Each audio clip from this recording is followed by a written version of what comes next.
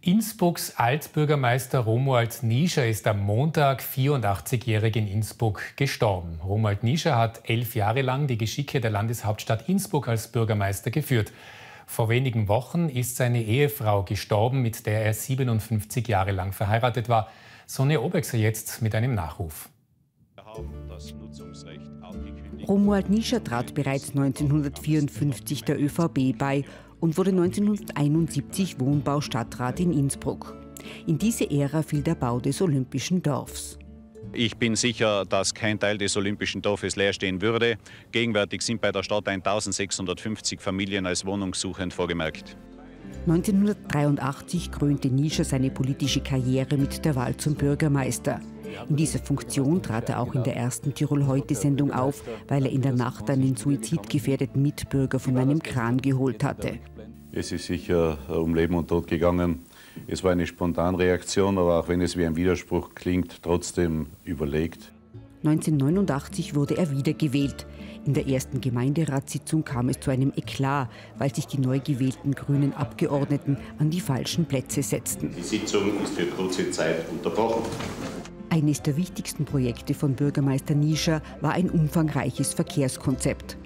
So wurden etwa Burggraben und Museumstraße autofrei. Tiefgaragen wurden gebaut, teilweise mit umstrittener Kunst.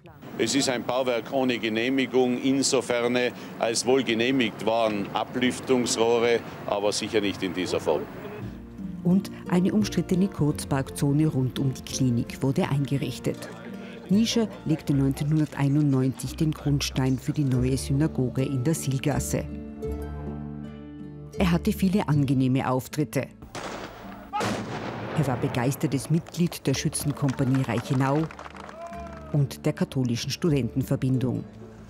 Er durfte die schwedische Königin Silvia bei ihrem Besuch in Innsbruck begleiten und erfolgreiche Olympiateilnehmer willkommen heißen. Apropos Olympia, 1993 ließ er die Innsbrucker über die Bewerbung 2002 abstimmen. Unsere Zukunft wird nicht von Neinsagern bestimmt. Sagen wir am kommenden Sonntag Ja zu Olympia. Die Innsbrucker sagten trotzdem klar Nein.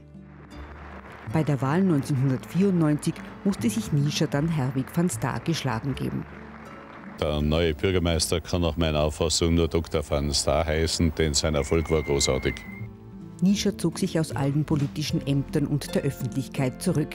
Einer seiner selten gewordenen Auftritte war 2002 bei der Innsbrucker Ehrenbürgerverleihung und beim Begräbnis von Altbischof Reinhold Stecher.